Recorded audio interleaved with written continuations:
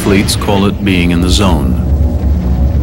We call it being in the driver's seat. The new G35 with a sport-tuned suspension and the most powerful V6 in its class. The G35 from Infiniti.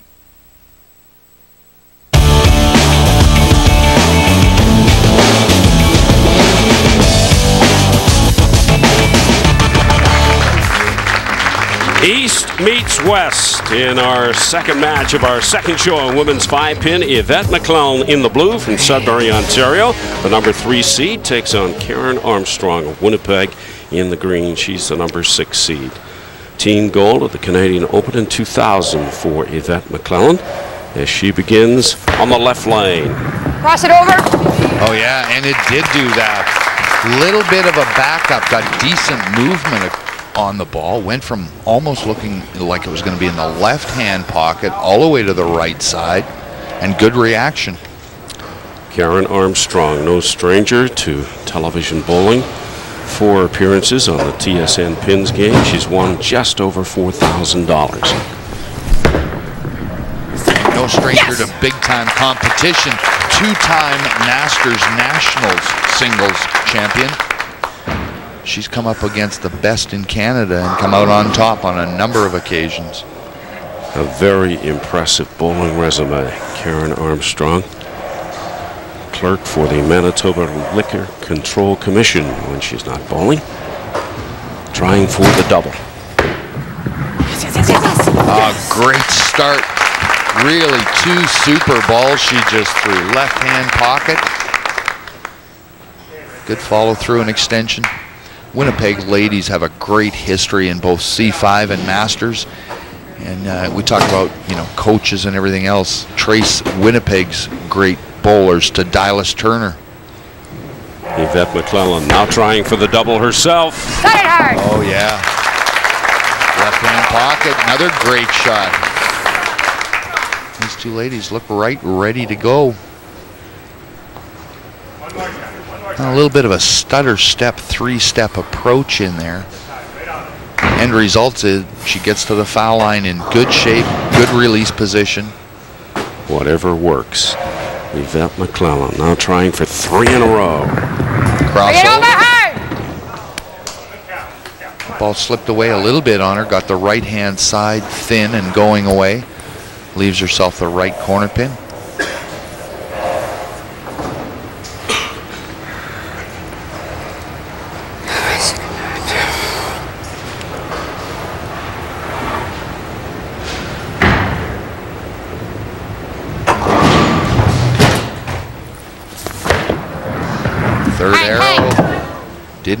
Yvette.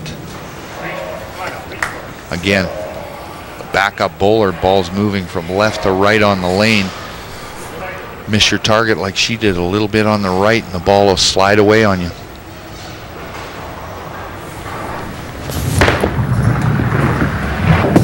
There's the shot. Counts 15. Cleans up and sits down with a total of 86. And that brings up Karen Armstrong, who perfect through two frames, trying to keep it going, trying for the triple with her first ball in the third frame. Two perfect games to her credit. Don't want to put the jinx on her at this point. Trying to stay perfect here. Get down there! Thank you! Big break on this one pretty much straight end over end roll from Karen, but she's got such great lift on the ball. She's picking the right angles. Gets a break on that left three pin off the wall and into the rubber band. Thought she was going to do some damage to her right shoulder there. she ran that one out for sure. Yes, yes. Going away, right hand side. She's lined up and taking advantage of both pockets and good roll on the ball. She is pumped and she's using that energy well right now. Four strikes in a row, put, putting a lot of early pressure on Yvette MacLellan, who was open in the third, strikes in the first and second. This is her first ball in the fourth frame.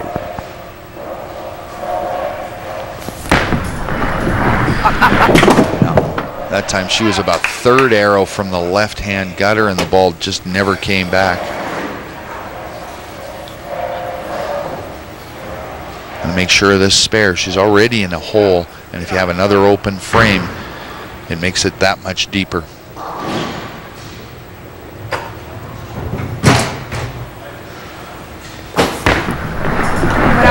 No. Miss left again. Too fast, too fast. Yourself to slow down. Yeah, she's going a little bit too quick with her feet, and what happens is then your arm swings behind that, and it's tough to catch up and get your release position proper. And she knew that was on the money. But open frames in the third and fourth after striking in the first and second. She goes back to work in the fifth frame. And the way Karen Armstrong is bowling, she needs some strikes now.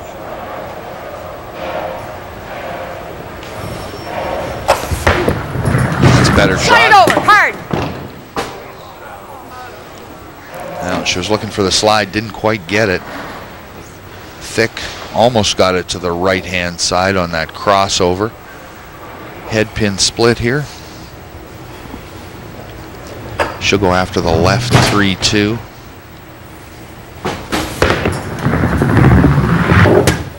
Now you can see the way she finished that shot off. She was trying to force it to get over there. Started out in pretty good shape. She was really freewheeling the ball. Now starting to struggle here a little bit. Takes out the 3-2 on the left side, but leaves the right corner, so it's three open frames in a row for Yvette MacLellan. And that brings up Karen Armstrong, who is trying to stay perfect with her fifth strike in a row. This is our second match of our second show, women's five pin. And the star so far is Karen Armstrong, trying to stay perfect. Slide it. Thank you. She got a little bit of a break there. She knew she had to be on the side. Drove the head pin back, but uh, got a break on that left side, 3-2. Karen may be looking for a little bit of payback here, Steve. Back in the ladies' team event at the Canadian Fives in 2000, Yvette MacLellan's team beat Karen Armstrong's team in the finals. Well, revenge is sweet at any time, and right now it looks as if Armstrong is on her way to the semifinal against MacLellan.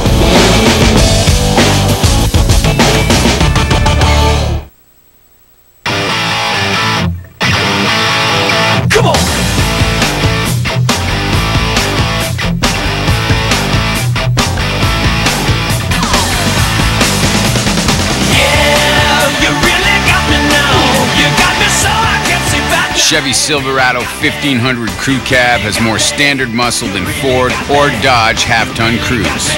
That's why it's the right truck from Chevy for all life's roads.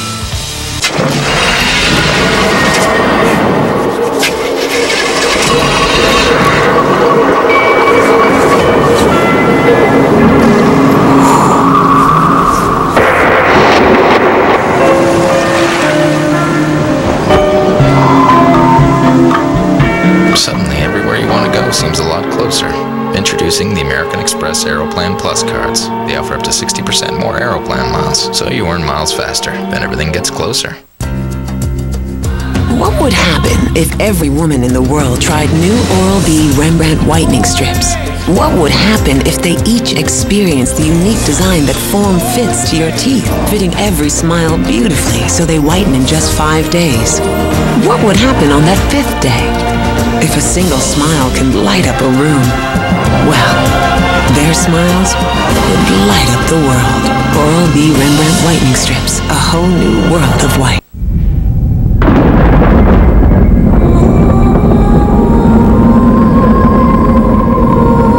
Where is it written that luxury is only for the few?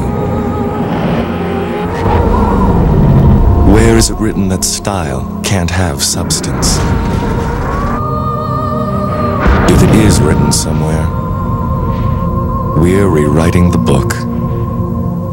Kia Amanti.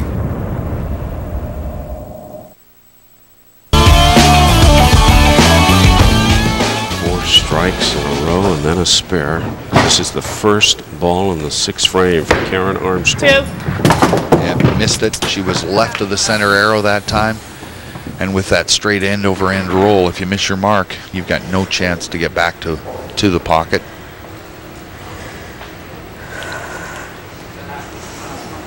Maintain this lead, needs the spare here in the sixth frame.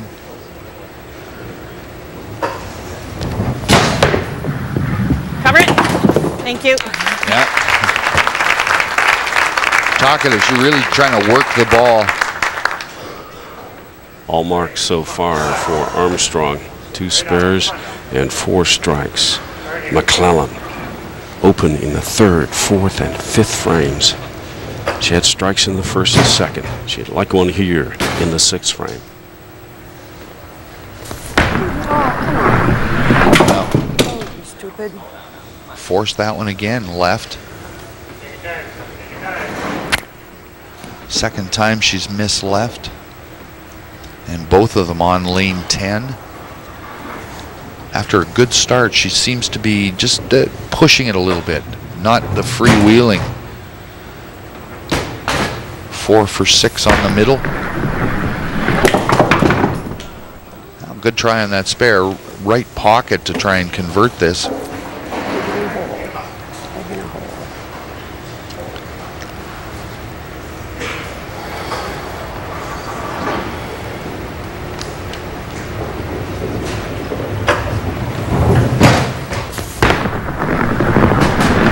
Well, you heard her say she was digging a hole, and she certainly has with four open frames in a row as she moves over to the left lane here at Bolorama Bayfield, looking for some marks. Any kind of marks, strikes would be nice. She started with two in a row in the first and second frame. and really made two great shots. Even frame three when she left that right corner, she made a good shot on it. But now really struggling to find the middle. And this happens even to the good ones. And Yvette MacLellan is a good bowler, but just not having a good day. Well, and, and the speed that they bowl this at in match play like this, you bowl two frames at a time. You really got to stop, collect your thoughts. Don't don't get up there in a big rush. There's something wrong. Let's try and fix it here. Finally, another mark. And it's a spare, and it comes in the seventh frame, but she's up against a bowler who is bowling well. All marks so far for Karen Armstrong. Four strikes in a row. That's the way she started. And then spares in the fifth and sixth. Now her first ball in the seventh frame.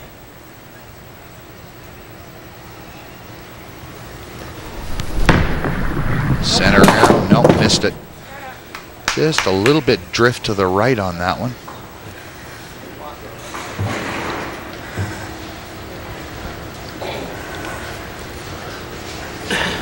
Two misses in a row. One left, now this one right. Better shot on the inside, covers up the spare.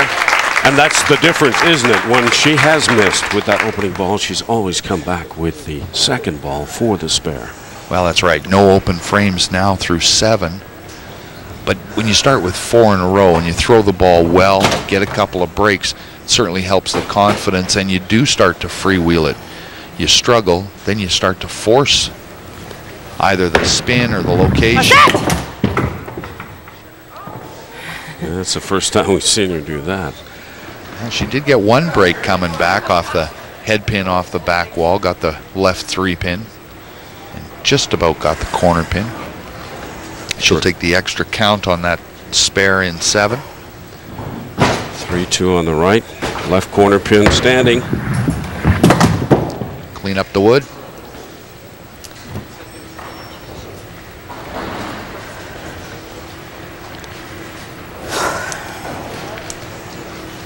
She knows she's still very much in control.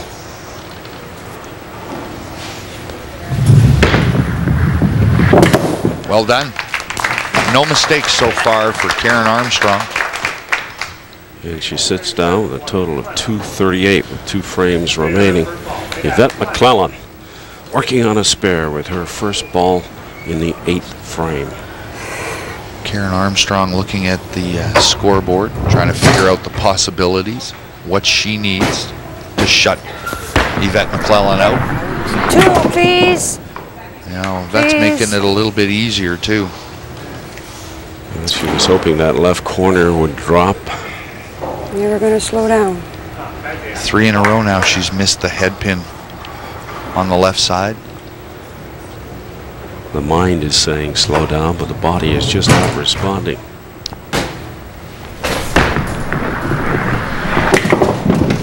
Nicely done. Nice spare for Yvette MacLellan, her second in a row. Things happen when you throw the ball right. This one, she makes a great shot on the spare and gets a bit of a break, head pin off the back wall. And sometimes a break is all you need to get back. Know, like she said, things happen when you throw things right. Now, force that one again. Just her release position just doesn't look comfortable.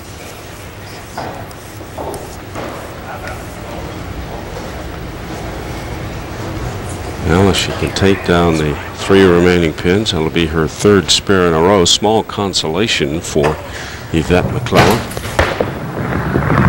Hit it! Wow. Been that kind of day. It really has. Yeah, after getting out to such a great start.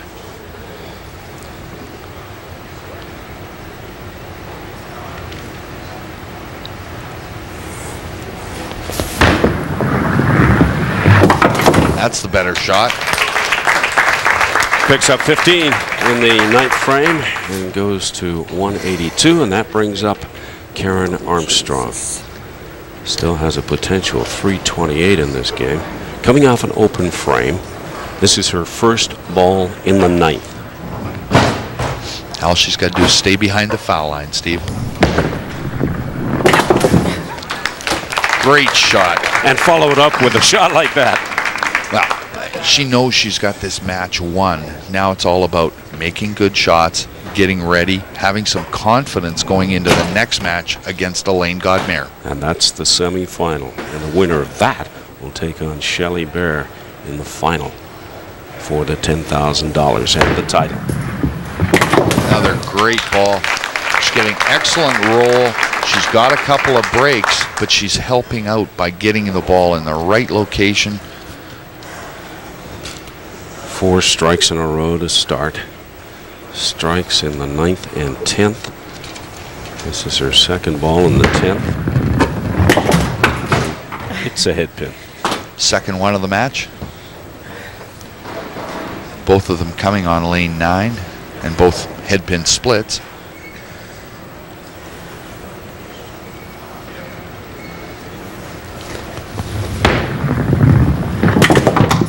Side for 304. Winnipeg's Karen Armstrong cruising to a 304 total as she sits down. Yvette MacLellan will come up to finish things off. Can't win, but she'd like to go out with a little better performance. No, I'm going too fast, honey. That's been her problem. Just been going too fast. But she knows it. She's been saying that since the fourth frame, but she just can't seem to slow down. Maybe a little Take TV it over. nerves. You know, getting going too fast. Yet television does strange things to people in athletics. We've seen it happen in so many different sports, and it certainly affected Yvette MacLellan today in her match. Cleans up, but the best she can do is a 197, and that is not nearly good enough to beat Karen Armstrong of Winnipeg, Manitoba. Armstrong with four strikes in a row and a strong finish to wind up with a 304 total. Compare that to Yvette MacLellan's 197, and it's Armstrong who goes to the semi.